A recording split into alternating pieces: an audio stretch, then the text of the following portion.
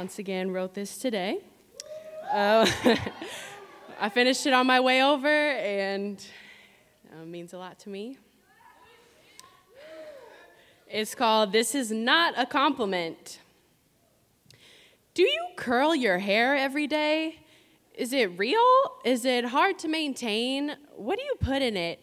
If I have kids with a black man, will their hair come out like that?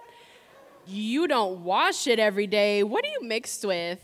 Oh my God, your curiosity is not a compliment. This is not 20 questions, and the last time I checked, my forehead did not have a sign reading Hair Museum on it. I see you turning your head to the left and then to the right, like you're some kind of intellect with some type of insight, but this is not a hair museum. See, I've got too many kinks and curls for just one exhibit. Too many waves might cause motion sickness if you look too closely. Your ship might get wrecked if you touch my hair one more time. I spent all morning, sin, all morning sitting between my mama's legs trying to style and perfect my mane from the roots to the ends. Sometimes I hate my roots because my ancestors are the reasons why I break a comb every time I try to get to them.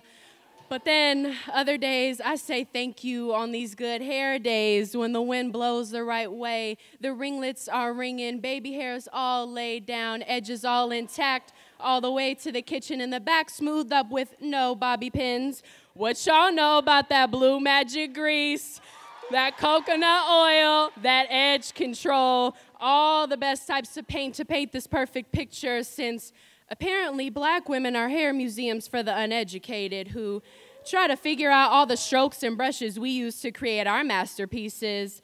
Oh my God, your hair is so soft, it's like cotton is not a compliment. It reminds me of those who came before me, fingertips soaked in blood from picking cotton, that cotton t shirt draped across you. Maybe you should run your hair through a cotton gin so you can try to comprehend our struggle. My hair reminds me of a struggle. It does not remind me of cotton, it reminds me of up at the crack of dawn, sweating in the sun on a slave plantation. My curls are mixed with the same genes of that of a slave and a slave master. My hair is perfect justification that racism should no longer be an ism. It should be lynched by its neck and hung out to dry. We need to stop coexisting and learn how to coincide.